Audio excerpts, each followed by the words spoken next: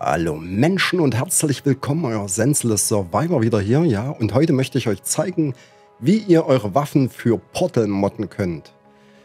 Klingt nicht nur doof, ist es auch. Äh, und zwar fangen wir an. Ihr geht erstmal auf Portal, ist ja allgemein bekannt, hier wählt ihr Portal aus. Dann auf Sammlungen und dann halt Battlefield 1942, Battlefield Bad Company 2 oder Battlefield 3. Wir schauen uns mal alles an. Das Prinzip ist überall das gleiche. Ihr geht auf eure Sammlung, auf Waffen, nehmt die Waffe eurer Wahl, die ihr modden wollt, klickt drauf mit der linken Maustaste, dann seht ihr schon, alle Visiere sind äh, freigespielt oder freigeschaltet. Freigespielt werden muss ja nichts im Portal. Unterläufe und Lauf äh, sind verfügbar. Gut, dann klicken wir mal hier drauf und wählen uns einen aus. Dann sehen wir unten, welche Dinger wir uns, äh, welche ähm, Visierung wir zur Verfügung haben. Nehmen wir, ja, welche nehmen wir denn? Diese hier.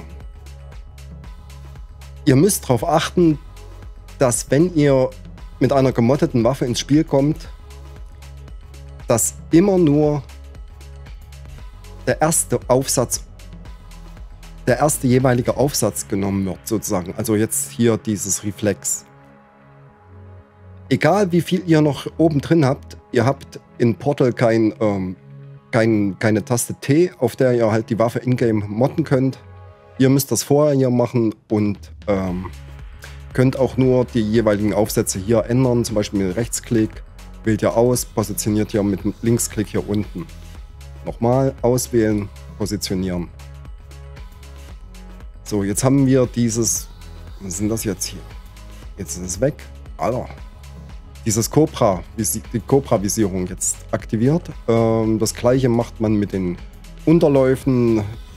Viel Auswahl hast du hier, glaube ich, nicht mehr. Ich weiß nicht, was das hier alles noch bringen soll. Die Taschenlampe, Blendeffekt, naja, ganz toll. Dann hier dieser ähm, Werfer, Launcher da noch dran. Oder hier ähm, das Standbein, was die Reichweite erhöht. Ähm, eigentlich hätte ich gedacht, so ein Standbein erhöht die Präzision. Aber egal, ich schweife ab vom Thema. Äh, wir wollten hier äh, die Waffe modden. Rechtsklick, Linksklick positionieren. Hier, ja, bei den, bei den Läufen sehe ich hier zwischen diesem Mündungsfeuerdämpfer und dem Laufabwerk keinen Unterschied.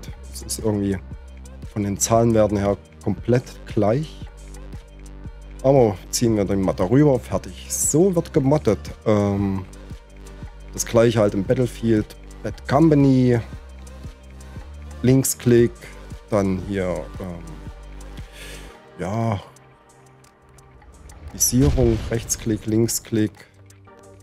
Unterlauf. So moddet ihr eure Waffe. Das war's für die, ähm, für Battlefield 1942 gibt es nicht viele Waffen, die ihr modden könnt. Die Bar, keine Ahnung, was die hat.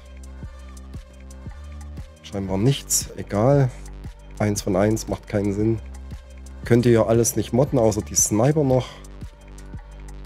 Ähm, ansonsten war es das ähm, soweit. Ihr könnt das auch, wenn ihr das Spiel startet, könnt ihr es auch nochmal äh, bei der Waffenauswahl dann machen.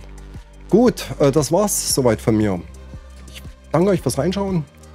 Lasst mir gern ein Abo oder Like da, würde ich mich freuen. Und ja, wir sehen uns. Bis dahin. Tschüssi, euer Senfless.